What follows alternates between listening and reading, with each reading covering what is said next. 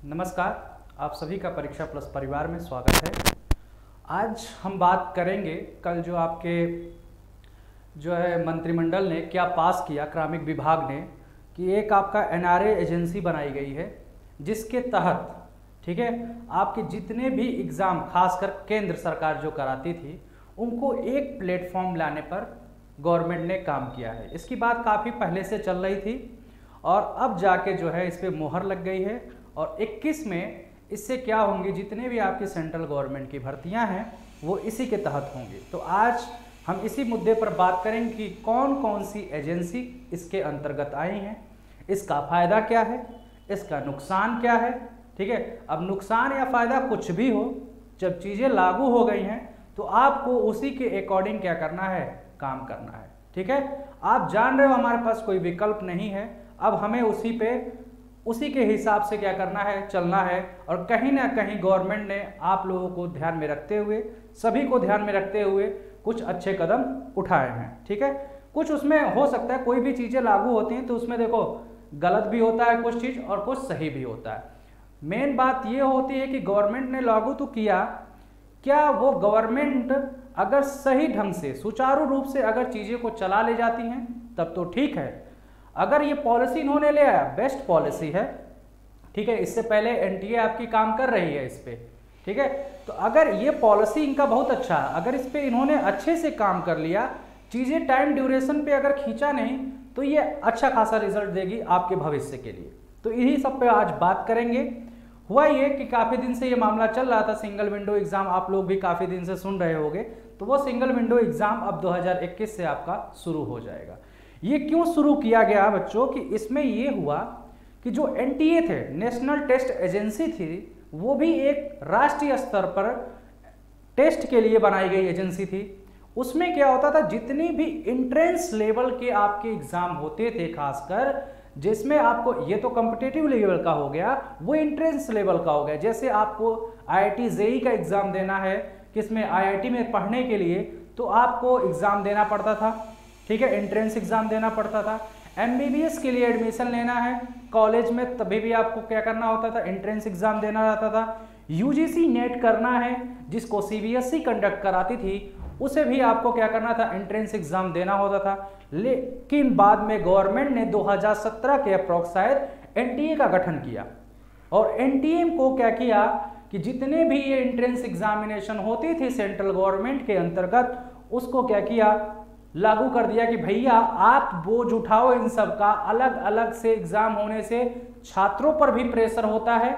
अलग अलग सिलेबस का अलग एक ही डेट पे दो एग्ज़ाम कंडक्ट हो जाते थे। तो भैया, उन पे एप्लीकेशन लिखना होता था कि, सर, हमारा ये जेई का एग्ज़ाम है और इसी में यूजीसी का नेट का भी एग्ज़ाम पड़ रहा है किसी का। ठीक? और चाहे किसी का एमबीबीएस जैसे बायो और मैं दो ग्रुप के बच्चे भी होते थे कभी कभी तो उनमें क्या हो जाता था? मान लो उनका जाना हुआ किधर? बायो के स्ट्रीम की साइड जाना हो तो बायो का भी अगर एग्ज़ाम दे रहे हैं और मैथ की स्ट्रीम में जाना हो तो हो सकता है कि दोनों का एमबीबीएस और जेई का एग्ज़ाम कोलेप्स कर जाए। तो इन सबको हटाने के लिए, ऐसे कई हैं पहलू जिस पे हम बात कर सकते हैं। उन सबको हटाने के लिए उसने एनटीए का गठन किया और सही रूप से वो काम कर रही थी, जिसको देखते हुए गवर्नमेंट ने सोचा कि अब कॉम्पिटेटिव एग्ज़ाम के लिए भी ऐसे एजेंसी का गठन किया जाए। और उसी पर आपका निकल के क्या आया? नेशनल रिक्रूटमेंट एजेंसी ठीक है? कौन सी एजेंसी नेशनल रिक्रूटमेंट एजेंसी इस, इसके अंतर्गत एनआरए ठीक है? इसका नाम एनआरए है और उसका नाम एनटीए है। अब इसमें बोला गया भैया इसमें एक सचिव लेवल का मेन इनका अध्यक्ष जो होगा एक सचिव लेवल का अधिकारी होगा आईएएस ऑफिसर होगा। ये जान लो। ठीक है? इसका हेडक्वार्टर का आपका दिल्ली में होगा। ठीक? और ये पूरा का पूरा इसके ऊपर बोझ लाग दिया गया है कि जितने भी कॉम्पिटेटिव एग्ज़ाम होते हैं, जिसके तहत आपके क्या होते हैं, आपको रोज़गार दिए जाते हैं, उन सब का भार आपको उठाना है। और शुरुआत में क्या करना है पहले आपको कि शुरुआत में अभी जो 2021 वाला है 2021 से ये चालू कर देगा अपना काम। ठीक है? अभी कुछ दिन में आपको खबर मिल जाएगी कि इसके अध्यक्ष कौन नियुक्त हुए। ठीक हेडक्वार्टर तो पता ही चल गया कि दिल्ली में है। 21 से ये जितनी भी सेंट्रल गवर्नमेंट की भर्तियाँ हैं कौन कौन सी? मुख्यतः तीन, पर अभी काम शुरुआत करेगी ये एनआरए ठीक है? वो किस पे करेगी? वो आपका बैंकिंग जो है सेक्टर है, जिसको आईबीपीएस कंडक्ट कराती थी। एसएससी के जितने भी एग्ज़ाम होते थे टेन प्लस टू लेवल का होता था एमटीएस होता था सीएचएसएल होता था और सीजीएल होता था सीपीओ होता था, जितने एग्ज़ाम होते थे एसएससी के, इसके पूरे एग्ज़ाम प्लस आपका रेलवे के एग्ज़ाम। रेलवे में आपका क्या? ग्रुप डी हुआ, ठीक है? उसके बाद से आपके कौन सा हो गया? ग्रुप डी के बाद एनटीपीसी का एग्ज़ाम हो गया। और भी जितने भी तमाम रेलवे के एग्ज़ाम निकलते होंगे, इन तीनों के भर्तियाँ अब एनआरए के अंतर्गत 2021 से शुरू हो जाएँगे। अगर इन डिपार्टमेंट में वैकेंसी है तो उसका एनआरए को रिपोर्ट जाएगा और एनआरए इसका क्या करेगा? पूरा एक लिस्ट तैयार करेगा कि अब इस लेवल पे, क्योंकि ये जो आपका होने वाला है वो बी एंड सी ग्रुप के जो भी जॉब होंगे, उनके लिए ये तय किया गया है कि इनका जो कॉम्पिटेटिव एग्ज़ाम है, उसको कौन कराएगा? एनआरए कराएगा। अब इसमें हुआ क्या क्या है, क्या क्या हो सकता है तो उसके बारे में हम देखते हैं एक एक करके। चलो। मैं आपको प्रेस की साइट ही दिखा दे रहा हूँ। जो प्रेस की साइट है, देखिए, क्रामिक विभाग का ये नोटिस है। इसी में बताया गया कि भैया, अब क्या होगा कि जो केंद्र सरकार है, नौकरियों के लिए एनआरए का गठन कर रही है और इस एनआरए के तहत, ये क्लियर हो रहा होगा आप लोगों को? ठीक? इस एनआरए के तहत क्या होगा कि पूरा आपका एक सीटी एग्ज़ाम कंडक्ट कराया जाएगा। कॉमन एंट्रेंस टेस्ट चाहे कॉमन एलिजिबिलिटी टेस्ट बोल सकते हो, ठीक है?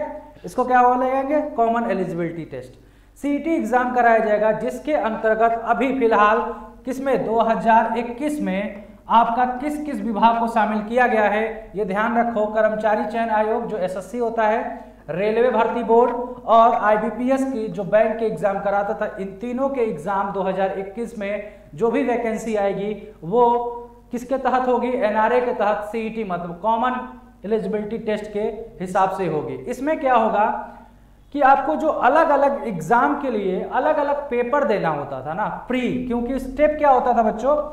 आपको अगर एसएससी देना है चाहे वो सीजीएल हो, चाहे सीएचएसएल हो, चाहे सीपीओ हो, चाहे एमटीएस हो, सब में पहले प्री दोगे, उसके उसका मेंस दोगे, और किसी किसी विभाग में मान लो इंटरव्यू भी चलता हो मैक्सिमम इंटरव्यू तो खत्म कर दिया गया था, लगन किसी किसी में अगर बी सी में इंटरव्यू भी चलता हो तो इंटरव्यू भी देना होता था आपको। चाहे और भी जो भी स्टेप होता था, वो तीन स्टेप में आपको करना होता था। अब क्या किया गवर्नमेंट ने? जो ये प्री लेवल है ना आपको, इसको हटा दिया है, इसको उठा के सबका एक कर दिया है। क्योंकि ये एसएससी का मैंने बताया। ऐसे बैंक का है, बैंक में आपका प्री दिए मेंस दिए और इंटरव्यू दिए। इंटरव्यू चलता है बैंक में, ठीक है? किसमें? पीओ में। क्लर्क में नहीं चलता है। उसके बाद से और भी रेलवे का एग्ज़ाम हुआ उसमें भी यही है प्लेटफॉर्म तो जो प्री है आपका अपर वाला है, उसको स्क्रीन टेस्ट में इसने बदल दिया।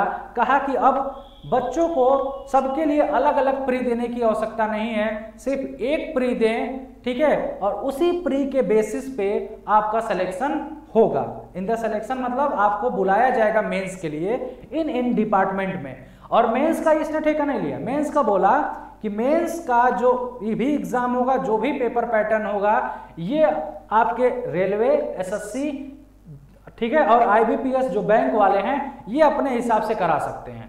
ठीक? क्योंकि अब बच्चे भी कम हो जाएँगे तो उन्हें भी कराने में आसानी रहेगा। ये कराने का मतलब यही है कि बच्चों को पहले सॉर्ट कर लिया जाए। जल्दी से हर चीज़ें जल्दी जल्दी हों, क्योंकि अब एक एग्ज़ाम हुआ तो प्री तो सबके लिए कंडक्ट हो गया। तो अब ये बोझ नहीं हुआ कि मुझे बैंक बैंक का भी प्री देना है, और एसएससी का भी प्री देना है और रेलवे का भी प्री देना। है प्री आपका तीनों एक ही साथ फाइनल हो गया। अगर आपने स्कोर अच्छा किया तो आपको सभी में मेंस लिखने का मौका मिलेगा। ठीक है? सभी विभागों में। जिसमें चाहे आप अपने हिसाब से, जिस विभाग में जाना चाहो, उसमें आप जॉब ले सकते हो, अगर आपका स्कोर है। और गवर्नमेंट ने यह भी कहा कि आपको बार बार देने की आवश्यकता नहीं है अगर आप एक ही बार में अच्छा परफॉर्म कर लेते हो। ठीक है? मतलब कि अगर आप एक बार में अच्छा स्कोर लाते हो, कहने का मतलब है कि एग्ज़ाम हुआ आपका और एग्ज़ाम ने आपने सीईटी में अच्छा परसेंटेज स्कोर कर दिया। स्कोर कार्ड आपका आया स्कोर कार्ड बन के आएगा इसमें, जो तीन साल के लिए वैलिड होगा। जो आपका स्कोर कार्ड होगा वो ये ध्यान रखना इसमें ये पॉइंट है तीन साल के लिए वैलिड होगा। मैं अभी वो पॉइंट दिखा रहा हूँ आपको। यहीं पे है आपका। ठीक।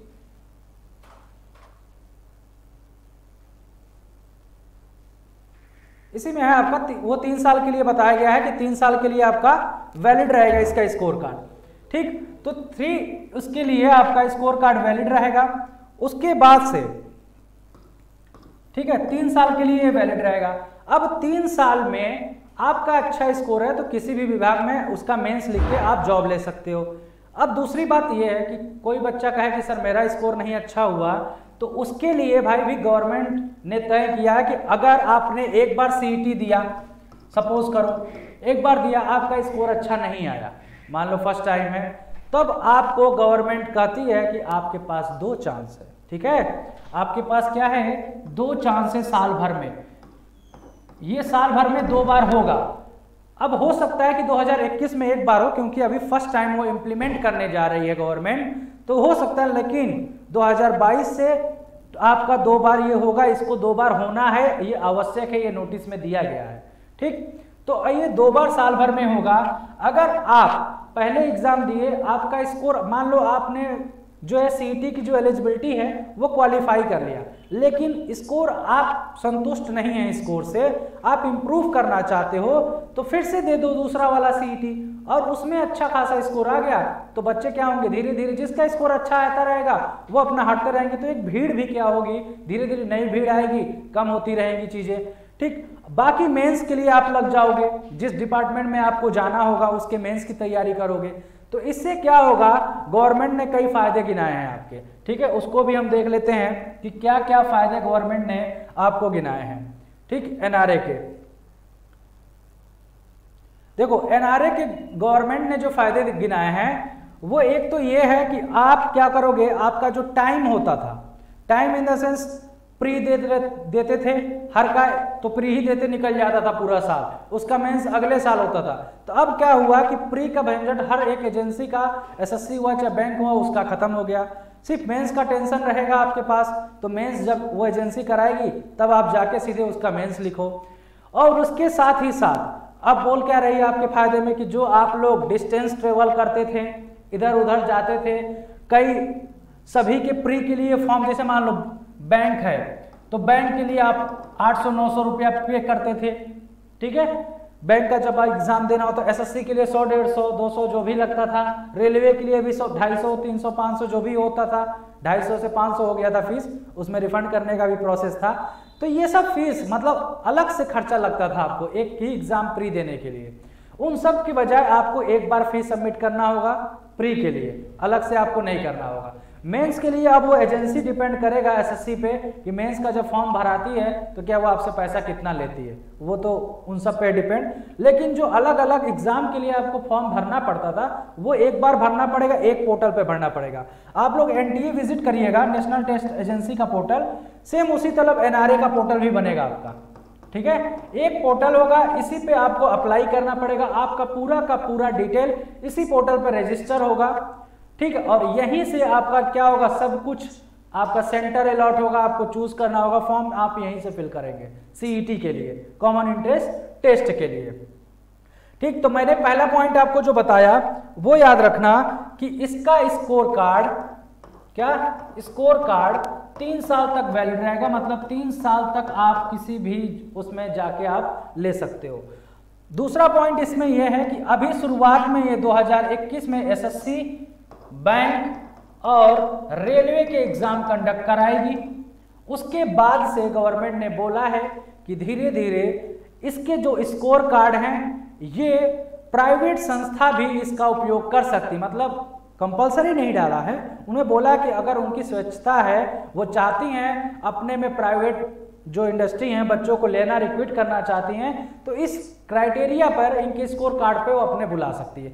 साथ ही साथ ये भी बोला है, आगे चल के राज्य का जो परीक्षा होगा, राज्य स्तर, कई राज्य में भी तो यही है, खिचड़ी पकी है तो राज्य स्तर भी इसी पर काम करे। और इसी में आपके उत्तर प्रदेश के मुख्यमंत्री ने आज ट्वीट करके, ठीक है, किसको? मोदी जी को धन्यवाद कहा और कहा कि जल्दी ही उत्तर प्रदेश आपके नक्शे कदम पर क्या होगी?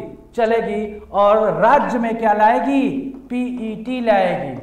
ठीक है बच्चों? तो ये इतना जान लो कि जो केंद्र में मोदी जी कर रहे हैं सेम उसी कदम पे कौन चलने वाला है? आपके योगी जी चलने वाले हैं। तो जो यूपी वाले बच्चे हो, वो भी तैयार हो जाओ कि आपके यूपी में पीईटी आएगी। ठीक है? और आएगी कुछ संस्थाओं के साथ। जैसे ये एसएससी बैंक रे, रेलवे के साथ आया ना ऐसे ये भी कुछ संस्थाओं के साथ आएगा। जैसे आपका यूपी ट्रिपल एस हुआ हो सकता है यूपी पुलिस हुआ चाहे एस पी ट्रिपल एस में कई विभाग है उसके अंतर्गत आए। तो ऐसे कई विभाग के अंतर्गत आपका पीईटी लागू होगा जिसमें सभी का प्री के लिए सिलेबस सेम होगा। सिलेबस की बात मैं बोल रहा हूँ सेम होगा। तो एक रिड्यूस आपका बर्डन यहाँ भी हुआ है सीटी आने से। ठीक? तो सेम ऐसे अगर स्टेट में पीटी आता है तो यही यही फ़ायदे होंगे कि आपको हर एक एग्ज़ाम देने से बचना होगा, सबका प्री देते देते आपका दो तीन साल निकल जाता था।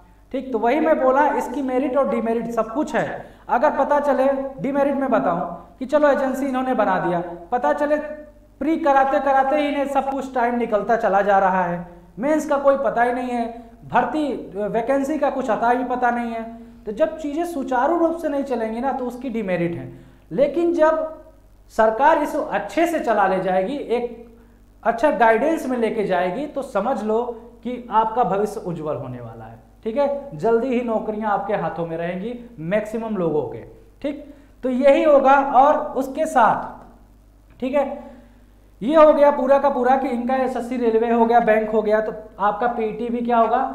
आपके स्टेट में जल्द ही लागू होगा, इसकी भी खबर आपको जल्द ही परीक्षा प्लस टीम द्वारा मिल जाएगी, क्योंकि जैसा आयोगी जी का रवैया इसके खिलाफ दिख रहा है, ये 100 परसेंट श्योर है कि पीईटी इसी के, इसी साल में आपको इन्फॉर्मेशन मिल ही जाएगी। ठीक, और बात कर लेते हैं अभी सीईटी के बारे में, और क्या क्या हुआ है इसमें। ठीक तो तीन साल का मैंने बता दिया, उसके बाद से आपके जो सेंटर अलॉट होंगे, इन्होंने कहा है भैया कि सेंटर अभी फ़िलहाल में एक सौ बहत्तर से या 175 जिलों के बोले हैं कि ये सेंटर अभी दिया जाएगा लेकिन बाद में इसे बढ़ाया जाएगा। ठीक है हर उसमें बोले हैं कि ये सौ एक, एक हज़ार के लमसम बोले हैं। एक हज़ार इसके सेंटर बनाए जाएँगे और एक सौ बहत्तर डिस्ट्रिक्ट की बात अभी शुरुआत में किए हैं कि एक सौ बहत्तर डिस्ट्रिक्ट में इसके क्या होंगे? एग्ज़ाम कंडक्ट कराए जाएँगे। इसमें रिलैक्सेशन के लिए उन्होंने बोला कि जो महिलाओं को अपना होम डिस्ट्रिक्ट छोड़ के इधर से उधर जाना होता था एग्ज़ाम के लिए, अब उन्हें नहीं जाना होगा, उन्हें होम डिस्ट्रिक्ट में ही उनको सेंटर मिल जाएगा। तो ये एनआरए जो है ना, वो अपना खुद का सेंटर बनाएगी। समझ लेना? सभी ये सेंटर बनेंगे, चाहे किसी को हायर करे सेंटर बनाने का मतलब ये नहीं बिल्डिंग खड़ा करेगी। कोई भी है, उसमें एनआरए का ठप्पा लग जाएगा कि एनआरए की टेस्ट एजेंसी है टेस्ट कराने वाली है। ठीक तो ये हो गया आपका। उसके बाद मैं बात करूँ कि थोड़ा सिलेबस के बारे में बात कर लें। घुमा फिरा के सभी लोगों के मन में ये होगा, सर सिलेबस क्या हो सकता है? जब सभी को इन्होंने मिक्स कर दिया प्री के लिए।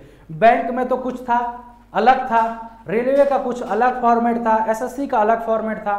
देखो फॉर्मेट सबका अलग अलग था, मैं मानता हूँ, मगर सिलेबस जो बात करें, वो कहीं ना कहीं सेम था। जैसे बात करूँ मैं मैथ की रीजनिंग की इंग्लिश की, ठीक है? तो सेंट्रल की है तो इंग्लिश आ जाएगा। अगर वही स्टेट आता है तो आपका हिंदी ऊपर ज़्यादा फोकस होगा। तो सिलेबस में कई चीज़ें कॉमन है, जैसे मैथ ठीक है? रीजनिंग जीएस और इंग्लिश ये सेंट्रल के लिए तो कॉमन है। ये सेंट्रल के लिए क्या है? कॉमन है। अब जीएस की बात जो मैं कर रहा हूँ तो इसमें क्या होता था? बैंक बैंक को भी मर्ज किया है ना? तो बैंक में इसमें क्या आता था? बैंकिंग अवेयरनेस के आपके क्या पूछे जाते थे। ठीक? लेकिन प्री में उसको भी हटा दिया था। प्री में उसे भी हटा दिया था। आपके जो प्री हो रहे हैं, पहले ऐसा था, लेकिन अब के प्री में वो भी आपका क्या हो गया, हट गया है। ठीक? तो इस वजह से ये कहा जा सकता है, इसके सिलेबस में मैथ तो कहीं नहीं जाने वाली रीजनिंग कहीं नहीं जाने वाली, और इंग्लिश कहीं नहीं जाने वाली। ठीक? मगर रेलवे और रेलवे का अगर प्री देखा जाए तो उसमें जीएस भी पूछता था और एसएससी का प्री देखा जाए तो उसमें भी जीएस पूछता था। तो आपको कुछ जीएस ऐसे ही पूछा जाएगा जो करंट रेलिवेंट होंगे मतलब करंट के टॉपिक खासकर होंगे, जो सबके लिए फ़ायदेमंद होंगे, हर एजेंसी के लिए। तो यही आपका सिलेबस होने वाला है। बाकी नंबर ऑफ़ क्वेश्चन मॉक कैसे होगा, इन्होंने साफ़ साफ़ बोला है कि मॉक जो है आप देख सकते हो एनआरए की जब वेबसाइट बन के तैयार होगी तो वहाँ पे एनआरए क्या करेगा? अपडेट करेगा आपका मॉक टेस्ट। ठीक? कि कैसे सीईटी का जो है आपका एग्ज़ाम होगा। अब सीईटी में स्तर की बात किया जाए, कि कितने फ़ीस में ये एग्ज़ाम होगा? मैंने बताया कि दो बार होगा ये हर एक साल में, लेकिन उसमें भी दस, टेन लेवल का अलग होगा, ट्वेल्थ लेवल का अलग होगा और ग्रेजुएट लेवल का अलग एग्ज़ाम होगा। ठीक है? तो सबके लिए अलग अलग सीईटी होगा। जैसे आप लोग एमटीएस का देते थे प्री वो क्या होता था? एसएससी एमटीएस टेन लेवल की जॉब होती थी। सीएचएसएल प्री देते थे तो ट्वेल्थ की होती थी। सी सीजीएल देते थे तो वो ग्रेजुएट की होती थी। वैसे ही यहाँ पे इन्होंने क्या किया है? सीईटी को डिवाइड कर दिया है तीन पार्ट में। ठीक है? कि भैया जो दस पास वाले हैं, उनसे ग्रेजुएट लेवल का पेपर तो हम पूछ नहीं सकते। उनका ग्रेजुएट लेवल से तो सी हम करा नहीं सकते कि कॉमन एंट्रेंस हम बोल रहे हैं कॉमन एलिजिबिलिटी टेस्ट तो पता चले कि हम एक ही पेपर सेट किए उसमें बेचारे टेंथ वाले का तो डिमेरिट हो जाएगा, उसका तो घाटा हो जाएगा। इसीलिए सबको नज़र में रखते हुए गवर्नमेंट ने कहा कि भैया ठीक है, जो टेंथ पास वाले हो, उनसे टेंथ स्तर का ही क्वेश्चन आंसर पूछा जाएगा। मतलब इनके लिए सीईटी अलग होगा, ठीक? साल भर में इनके लिए सीईटी दो बार होगा। इनके लिए भी होगा और इनके भी लिए होगा और इनके लिए भी अलग अलग होगा। मतलब अलग अलग सीईटी अलग अलग लेवल के लिए होगा। अब पूछोगे हमसे तुम लोग कि सर जी, दो एग्ज़ाम इसके, दो एग्ज़ाम इसके, दो एग्ज़ाम इसके। छह एग्ज़ाम साल भर में क्या करा लेगी? अभी तो ढंग से दो एग्ज़ाम नहीं करा पाती है एजेंसी लटकाए रहती है तो क्या छह एग्ज़ाम करा लेगी? वो मैं बोल रहा हूँ, घुमा फिरा के आपको गोला दिया गया है तो गोले से नहीं मतलब रखना है। डिपेंड करता है यार कि इसकी वैकेंसी आती है कि नहीं। हर विभाग में। टेंथ देखो मैक्सिमम इसकी वैकेंसी किसमें आती है? कई सालों में तो रेलवे ने दिया था। दो ढाई लाख ग्रुप डी के जो है वैकेंसी दिए थे। ठीक, बाकी रेगुलर वैकेंसी इस पे देने वाले। टेंथ पे देने वाले, दस पास पे और बारह पास पे। क्योंकि अभी किसकी किसकी बात हुई है? एसएससी की बैंक की और रेलवे की। तो एसएससी ही इन दोनों पर देता है वैकेंसी बाकी अभी कोई चाहे बैंक हुआ, कभी भी दस स्तर का कोई एग्ज़ाम नहीं कराता, बारह स्तर का कोई एग्ज़ाम नहीं कराता। हमेशा ग्रेजुएट का कराता है। रेलवे हुआ तो रेलवे जानते हो कितना लंबा ड्यूरेशन में कहता है? भाई, हमें हमारे पास है नहीं। एक ही बार समेट लेता है, तब आके वैकेंसी देता है। तो इस वजह से थोड़ा शॉर्ट इसमें हो सकता है। जैसे एनआरए को लगेगा, जिसकी आवश्यकता है, उस हिसाब से आपसे क्या कराएगी? एग्ज़ाम कराएगी। देखेगी, अगर इस साल उसके पास टेंथ लेवल के वैकेंसी ज़्यादा आए हैं तो उस साल टेंथ लेवल सीईटी कराएगी। नहीं आए तो क्यों कराएगी टेंथ लेवल का? जब आवश्यकता नहीं। जिसकी आवश्यकता होगी, उसको सीईटी कराया जाएगा। ठीक है? क्योंकि जब देखेंगे ना कि इसे ग्रेजुएट लेवल का जॉब है तो इसका मतलब पहले हमें ग्रेजुएट लेवल का सीईटी करा लेना चाहिए, ताकि बच्चे जो फ़िल्टर हो जाएँ ग्रेजुएट वाले, ये यहाँ पे बैठ सकें मेंस देने के लिए। तो वो उस हिसाब से कराएगी, वो पूरा सब कुछ उनके दिमाग में है। ये मत सोचना कि सर दो एग्ज़ाम इसके, दो एग्ज़ाम इसके, दो एग्ज़ाम इसके, कराएगी ही कराएगी हमेशा। ये कोई ज़रूरी नहीं, वो आपके वैकेंसी पे डिपेंड करता है। वैकेंसी आएगी तो मोस्ट है कि ये कराएगी ही कराएगी। ठीक तो ये ध्यान रखना, सबके लिए अलग अलग होगा। और सबका सिलेबस कहीं ना कहीं अलग होगा लेवल अलग होगा। सिलेबस मतलब अलग नहीं सिलेबस आपका यही पूछा जाएगा लेवल अलग अलग होगा। जो मैथ के क्वेश्चन पता चले, यहाँ हाई फाई पूछे जा रहे हैं तो यहाँ दस ही लेवल तक पूछा जाएगा आपसे।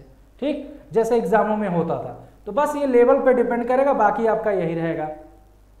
ठीक? और इसी के साथ साथ इन्होंने कई चीज़ें बोली हैं, इसमें काफ़ी मैं आपको पीडीएफ दे दूँगा प्रोवाइड करा दूँगा। आप लोग परीक्षा प्लस चैनल सब्सक्राइब कर लेना टेलीग्राम से जुड़ जाना है वीडियो के डिस्क्रिप्शन लिंक पे सब कुछ दिया रहेगा। तो वहाँ सब कुछ दिया है। आगे इन्होंने बोला है कि फ्यूचर में काफ़ी ये होगा कि हम पूरे स्टेट को एक प्लेटफॉर्म पे ले आएँगे। ठीक है? वहाँ से जैसे जैसे होगा कि जैसे इन्होंने बोला कि अभी शुरुआत में बारह लैंग्वेज में हम पेपर करा सकते हैं। बारह लैंग्वेज मैक्सिमम क्या होता है यार? इंग्लिश और हिंदी में हर पेपर होता है, क्योंकि ये इंग्लिश तो सब जगह चलता है बाय डिफ़ॉल्ट है। और हिंदी आपके जो इधर वाले हैं, खासकर नॉर्थ वाले, उन पे हिंदी चलता है। लेकिन बेचारे साउथ वाले फंस जाते हैं। इसीलिए रेलवे क्या करता है? जब रेलवे का एग्ज़ाम होता है, अभी जो हुआ एनटीपीसी चाहे ग्रुप डी वाला, उनमें जब देखोगे एग्ज़ाम जो होता था, वो काफ़ी लैंग्वेज में होता था। 20-22 लैंग्वेज में कराते थे। वो सबके लिए चांस देते हैं। तो वही बोला कि बाकी हम चल के जो ये, क्योंकि रेलवे को भी तो अपने अंतर्गत लिया है तो रेलवे वाले बच्चों को नुकसान न उठाना पड़े। उनके लैंग्वेज में उनका पेपर होगा। बाद में चल के इस बारह लैंग्वेज से बाईस लैंग्वेज में आपके ये पेपर सेट कराए जाएँगे, पूरा। ठीक है? कोई भी लैंग्वेज में आप पढ़े हो, आप जाके दे सकते हो। तो मोटा मोटा बात यही रहा पूरे सीईटी को लेके कि याद रखना, अगर सीईटी केंद्र में लागू हो रहा है तो बीजेपी की सरकार आपके उत्तर प्रदेश में भी है और पीईटी की बात कहीं ना कहीं यहाँ भी पहले चली थी, हवा उड़ी थी। तो आप ध्यान रखो कि पीईटी अब आने वाला है और जब भी आ जाए पीईटी और जिस दिन आ गया तो समझ लो इसमें भी मुहर लग जाएगा, इसमें भी रुकना नहीं है, सीधे पास ही होगा। ठीक? और उसकी इंफॉर्मेशन आपको जल्दी दी जाएगी। और उसमें आ जाएगा तो आपका फ़ायदा ही है यार। देखो, कोई सी चीज़ का नुकसान नहीं होता है। गवर्नमेंट हर पहलू आपको सोच के चलती है। आप लोग उसमें डिमेरिट निकालने लगते हो, ठीक है? होता है कहीं ना कहीं। मैंने बताया पहले में, शुरुआत करते समय। डिमेरिट वो होती है जब सरकार सुचारू रूप से कोई चीज़ चला ना पाए। ठीक? वो डिमेरिट सबसे बड़ी बात होती है। चाहे वो कुछ भी कर ले, कितनी भी कर ले वैकेंसी ना लाए तो एजेंसियों का क्या फ़ायदा? ठीक है? तो इसलिए जो चीज़ें चलती हैं इसमें, वो लोग सरकार नहीं कुछ करते हैं। इसमें आप ही जैसे पढ़े लिखे लोग, इस पूरा पूरा जो है, जो ब्यूरो दिया गया ना कि सीटी लाइए, चाहे पीटी लाइए, ये कौन देता है? ये आप ही जैसे बने लोग जो अधिकारी होते हैं, वही ये सब प्रस्तावना जो है गवर्नमेंट को भेजते हैं कि ऐसा कराने से हमारा देश एक अच्छी दिशा की तरफ़ जा सकता है। ठीक है? उनमें ये नेता होता कुछ नहीं करते, उनका क्या दिमाग जो दसों बारह ना पास हो? ठीक है? उसमें आप ही जैसे लोग जो पब्लिक सर्वेंट हो, जो गवर्नमेंट के अंतर्गत काम करते हैं, उसी में से लोग जो हैं, ऐसा अपना सुझाव रखते हैं और गवर्नमेंट उसको क्या करती है? देखती हैं, ठीक है, चलो भाई काफ़ी लोग इसके संदर्भ में बात कर रहे हैं तो इसे पास किया जा सकता है। ये देश के लिए भलाई है, बच्चों के भविष्य के लिए भी भलाई है। ठीक? तो ये सब चीज़ें बात रही आपकी किसके? सीईटी e के बारे में। कि आपका स्कोर मोटा मोटा सुन लो लास्ट में, कि ये एग्ज़ाम साल में दो बार होगा जिसमें स्कोर कार्ड बनेगा, जो तीन साल तक वैलिड रहेगा, ठीक है, जिसका स्कोर अगर एक बार में सही नहीं होता है, वो री एग्ज़ाम दे सकता है। उसमें कोई बाध्य नहीं है कि आप 50 परसेंट पाए तो 50 परसेंट पे ही रुक जाओगे, आपको देने के लिए नहीं मिलेगा। आप अपना स्कोर इंप्रूव कर सकते हो, ठीक है, जितनी भी चाहे उतनी बार मर्ज़ी पे एग्ज़ाम दे सकते हो, मगर साल में दो बार होगा तो एक बार में अगर स्कोर अच्छा नहीं हुआ तो दूसरे बार में आप स्कोर अच्छा कर सकते हो। अभी तक इसमें एज लिमिट की कोई बात नहीं की गई है। ये भी ध्यान रखना, कितने भी आपकी एज लिमिट हो, आप सीईटी के लिए क्या हो एलिजिबल हो। ठीक है? बाकी आपको जो सेंटर अलॉट होंगे, वो आपके घर के पास ही होंगे, जैसा गवर्नमेंट ने कहा है। तो ये मोटी मोटी इसकी कुछ बातें हैं, जो आपको सीईटी में जानना है। समझ लो पीटी अगर अप्लाई होता है आपके स्टेट में तो सेम हु इसी कंडीशन पे अप्लाई होगा। ठीक है? तो इसी के साथ मैं अलविदा लेता हूँ। धन्यवाद।